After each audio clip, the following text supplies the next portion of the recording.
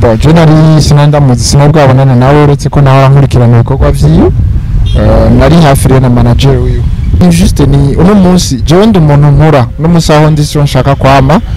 Eh, rero hari ivyo mbona nti aha okay aha vyagenze uku reka nkosore iki ziri inyuma kari inyuma karahinda. A premièrement ku murongo wa MT number one. Kubera ko nk'uko babivuze abaza ari abafise amadiri yiwe aje ngaha umwanya uba uri porogaramu abafise ibintu kanaka baje gukora rero ku- kumuronkera umwanya de kumba kundronkera umwanya wo gukora irya video cabaye ikibazo. Babonye iyindi challenge nuko video ya yari yashoboye gutakara mugabe ikaboneka. Eh, byarangoye vraiment byarangoye. N'abandi bantu nyene twe twavuganye ko dukorana mugabo bakadusumbuwa tusa. Sibyo nabonye rasohotse bamwe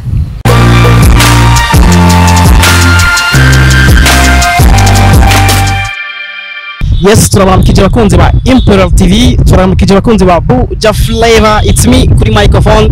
Nkuko murimo tubikora mwumvise no voice mumenye ko ari news iri update. Uno munsi bafitiye umustar ni gake nkora no ma interview gusa uno munsi nashimye kumuzana yitwa dj oli mr kanyana bro vipi? Salama. Inakwaje?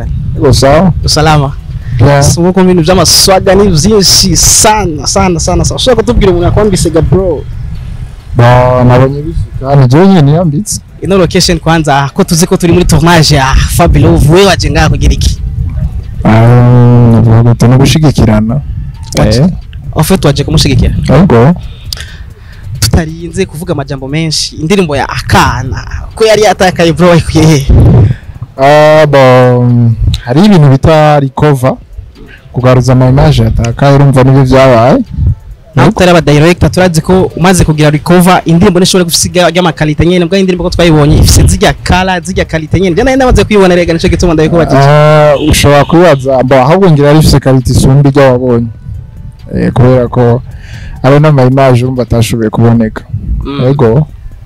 Mu bantu bagufashije ni dushobora gushimira ubagarukanye irya video no sinshimye kumuvuga ngaho. Kubeye ushobora kumuvuga kamuidiri abandi bagize izo ngorane. Ni kubera ko ba ntabikunda ntakunda ku abamuzi baramuzi yego abamuzi baramuzi urumva. Ntakunda ko ntakunda kuyandagaza voilà. Abafunzi ba Emperor TV bavyumvise tugerageje kwinjira muri video neza na neza. Tutangure kuri audio kwanza ah tutangure kuri connection. MC number 1 gute? Ah, MT number one navuga gute ni umuntu umuntu wanje. Kandi abivuga uko kubera ko hari n'ibigaragara. Ah, bon je nari sinandamuzi sinabwabonana nawe uretse ko nawe ankurikirana ibikorwa vyiwe Ah, nari hafi rero na manager wiwe. Manager Hinde Mbashi. Mbasha ego. Inspiration yavuye kwanza imbere kwanza yuko wifuza gukorana na Wizi jaje gute ko tuzi ujya mu blog yavuye hanze urumva aje ngaho aje ku kazi. Kolabo tuzi ko igurwa amahera menshi. Se ulipata hela za kumlipa ule jamaa bro Eh, bo navuga gute? Amahera ni iki? Amahera ni ibintu bisanzwe. Amahera ni ibintu bisanzwe eh, kandi n'ikintu abantu bamwe bamenya. Hari n'igihe amahera hari ahantu ushika amahera ntakore. So rero amahera ni ibintu bisanzwe. L'essentiel nuko twayikoze. Urumva urashobora kubwira ko uh, MC number 1 atamara yigeza gusaba video gute audio gute vyose ni we yimenye canke bako mkono wako bro. Ta DJ uri umwana muto. Si umugabo muto.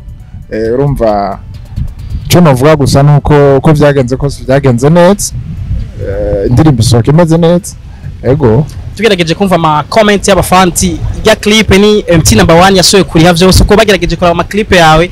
Ni imwe mu ma clip ifise uh, kala nziza ni clip ifise ama image meza par rapport y'ama clip urukora ni bimwe abafanzi bakavuga ko Oli atarakimwe yagize yajya Oli urumva ni msada tu baramufashije.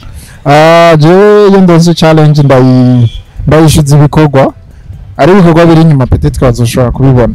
Ni ni juste ni uno munsi jewe ndi umuntu nkura no musaho ndi so nshaka kwama Ah, rero hari ivyo mbona nti aha okay aha vyagenze uku reka nkosore iki ziri inyuma kari inyuma karahinda ego kandi MT number 1 ntazoba arimo ikintu kimwe wabonye kwa MC number 1 kiri different ku bandi bastar Ah, ni umuntu yicisha bugufi marwe naho afise izina afise n'amafaranga Ah, kandi arafise umutima wo gufasha ah, kwegereza abandi. Si muri muri navuga gute muri industry canke muri entertainment sindi umuntu nzwi cane sindi umuntu nzwi cyane ariko ni umuntu yabonye ya- ya- ya- yashoboye kubona ko mfise impano kanaka ashobora kumfata mu mugongo malgré tout umva rero umuntu atishira hejuru ni umuntu afise umutima wo gufasha abandi kugira ngo bashobore kugira ku yindi step. Nico kintu je nabonye. Kuva kuri clip video gushika kuri audio ni zayi challenge wahuye na zo ibintu byakugoye sana muri clip no muri audio. Ah, premièrement ku murongo MT number one. Kubera ko nk'uko babivuze abaza ari abafise amadiri yiwe aje ngaha ah, umwanya uba uri programme abafise ibintu kanaka baje gukora. Rero ku- kumuronkera umwanya de kumba kundongera umwanya wo gukora irya video cabaye ikibazo. Irya irya irya um, irya audio audio twamufashe asohotse. Na na manager we parce yari afise ibintu byinshi akora and then natwe tumutegera. Asohotse nyiragiye turamubwira ni no bro please tureka tugende dukore. Avuga ni no ndafise programme yuti ndavuga ntoya uko bimeze kose tugende ugire ukore. So sha turakora. Umwanya wiwe byari bigoye kumutora uh, babonye indi challenge nuko video ya yari yashoboye gutakara mugabe ikaboneka Uh, byarangoye vema byarangoye. N'abandi bantu nyine twe twavuganye ko dukorana mugabo bakadusumbuwa tusa.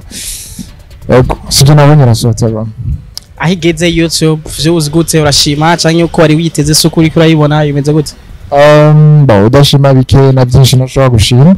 Uh, hariho hariho akunguko kubera ko jewe views ngeze uno munsi nahora ndazironka amezi atatu. Umuntu ashobora kubona ni nkeya mugabo ni nyinshi. So song igeze kure views ziriko ziraduga pa raporo izo nahorana kandi iriko iranaduza n'izindi ndirimbo nka my desire iriko iraduga cane. So ni bon ni bon vraiment kandi iracafise igihe ndacayihaye umwanya ishobora kugera kure gusumba. Urashobora kuba agapela abafanzi biwawe bumve urya nyene DJ Oli wo muri akana wa Move Live sinoja ngango sigure uko niyumva imbere yawe simbitahura. Ntaco noba mfise ngo nkwime. kuko umutima wanjye ni wowe ukontorora baby baby mwiza wanjye nuko mvugiye